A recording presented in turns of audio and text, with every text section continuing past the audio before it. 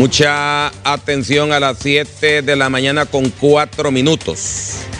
A eso de las 6 con 19 minutos informábamos aquí en HCH Matutino sobre la paralización del servicio del transporte en la colonia Cerro Grande de la capital. Estamos viendo esta unidad del transporte que fue tiroteada. O sea, esta situación ya, ya, ya se ha vuelto incontrolable. Los que son enviados a amenazar a los empresarios o a los eh, conductores de unidades del transporte urbano y también interurbano no andan con bromas. No andan con bromas. Las amenazas comienzan enviando la carta extorsiva. Alarmante la situación, don Eduardo. Primero envían la carta extorsiva, dan un tiempo, Después, las llamadas telefónicas.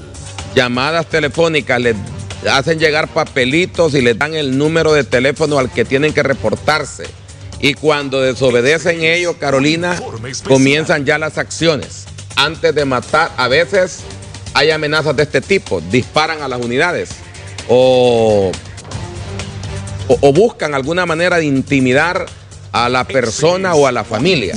Y ya después son las acciones hasta de matar gente. Los atentados y las muertes, don Eduardo, que no cesan más en el rubro del transporte, que está siendo amenazado continuamente y que muchas personas, conductores, también ayudantes, han muerto producto de este delito de extorsión. Estoy viendo en este periodismo demostrativo eh, cuál es la unidad. Creo que ahí está la compañera Dilsi en la unidad del transporte que fue tiroteada. Quiero ver si está la compañera Dilcy ahí, donde está esta unidad que ha sido tiroteada y eso ha obligado a todos los eh, conductores de unidades a paralizar el transporte. ¿Dónde está la, ahí está, mire, eh, ¿dónde están los tiros, Dilcy? Dilcy Paz esta mañana eh, en vivo en el lugar, Dilcy.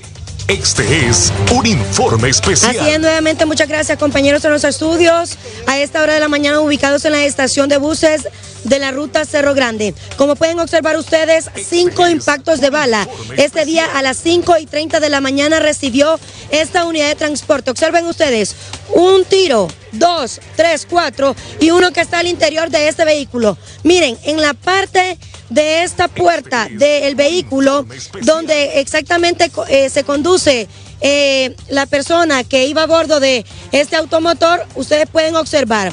Completamente tiroteado ha quedado esta unidad de transporte.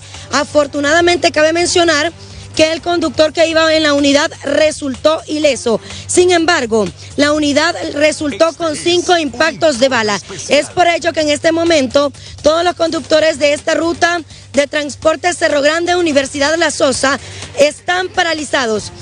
Capitán Ramos, las unidades en este momento están completamente paralizadas. En este momento están paralizadas, ya estamos coordinando más personal para que se restablezca el servicio en la ruta.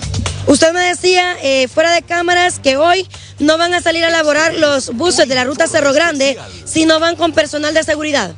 Eso es lo que nos han pedido los, mismos transportistas, los mismos conductores de las unidades y eso es lo que estamos tratando de solucionar. Este eh, como le dije anteriormente, ya traemos más personal para que la ruta y todas las unidades lleven seguridad. Ahora consultamos, ¿por qué siempre que suceden estas... estas eh, circunstancias es que los elementos de seguridad se vienen permanentemente a estas zonas y mientras no pasan estas cosas no vienen. Bueno, la verdad es que siempre nosotros tratamos de, prestar la seguridad de la mejor manera. Eh, son casos ajenos a, nuestro trabajo. Siempre tratamos de, que no sucedan estas cosas. Eh, si usted se pone a, o, mira la hora que fue el atentado, fue las 05.30 de la mañana, nosotros a esa hora ya, ya estamos trabajando. Eh, lo que pasó con esta unidad, que en ese momento no, no traía seguridad, no traía seguridad. Y según información por otro conductor de la misma ruta, pues una motocicleta lo venía, le venía dando persecución y fue la que le proporcionó el atentado. Ahora le consultamos, ¿no hay suficiente personal de seguridad para que cada una de las rutas de transporte urbano eh, pues lleven un elemento al interior? Bueno, sí tenemos el suficiente personal, sí tenemos el suficiente personal, pero en ese momento que se dio el atentado todavía la, unidad no traía la, seguridad. Y entonces, capitán, ¿por qué no se les brinda un elemento a cada una de las unidades permanentemente en todas las diferentes rutas de transporte? Por seguridad de, los mismos agentes y por seguridad del mismo conductor, tienen que andar dos, dos agentes en cada unidad de transporte. Y eso es lo que estamos tratando de corregir para que en cada unidad siempre anden dos, dos elementos prestando seguridad. Pero sería posible que cada uno ande con dos elementos diario, todos los días, eh, en las horas que ellos laboran. Sí, es posible, sí es posible.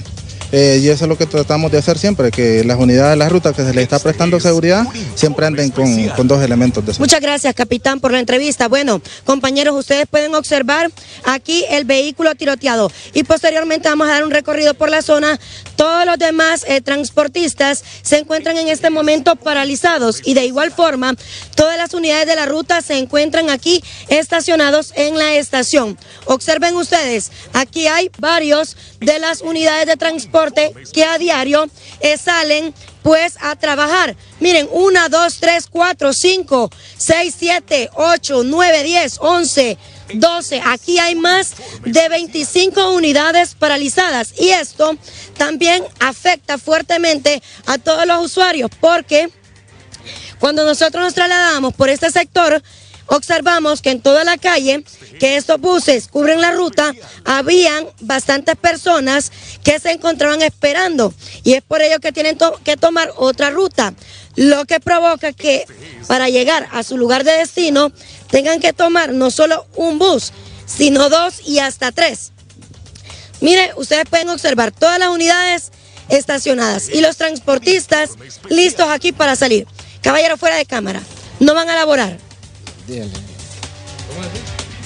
Caballero, buenos días. Fuera de cámara, ¿no van a laborar hoy? Eh, sí, solo estamos esperando que vengan unos elementos para que nos apoyen. Y sí, después vamos a salir, pero ya cuando vengan los elementos de, la, de Fusina, yo creo que sí. ¿Solo con elementos eh, policiales ustedes van a salir hoy?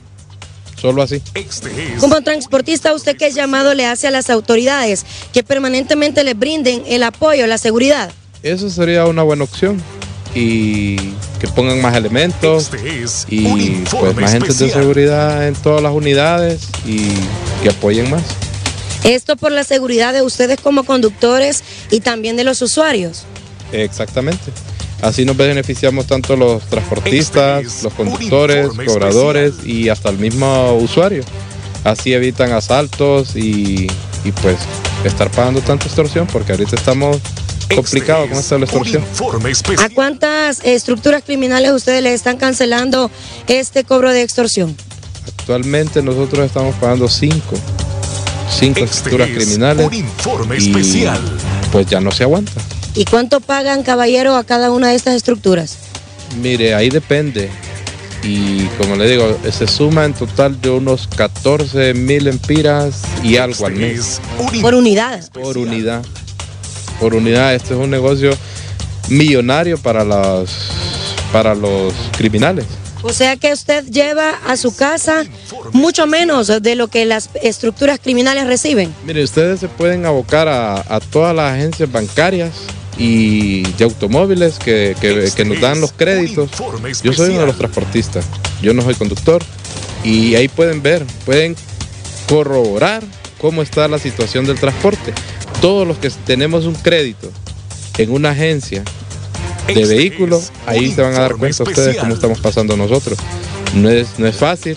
Yo he escuchado en su medio que hay conductores que salen hablando y salen diciendo que ellos son los que pagan la extorsión.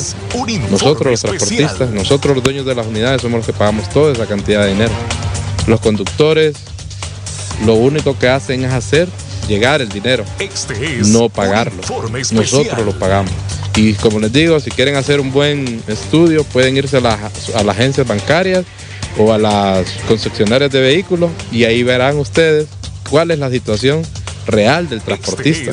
No como alguna gente dice que somos millonarios.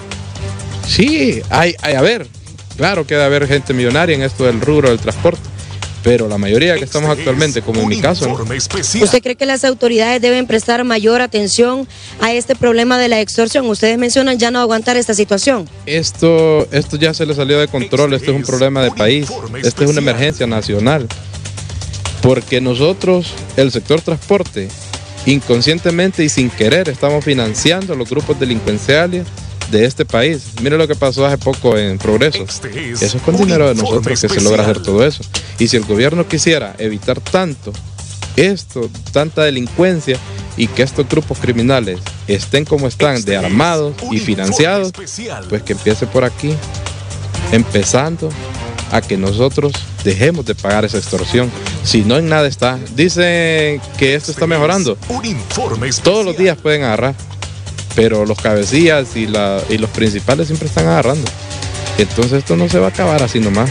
Tienen que poner un más rigidez en esto. Si no, pues no va a pasar de ahí. Un informe Bueno, muchas gracias al transportista que en este momento nos ha brindado esta importante entrevista aquí en la estación de buses de la ruta Cerro Grande, Universidad de la Sosa.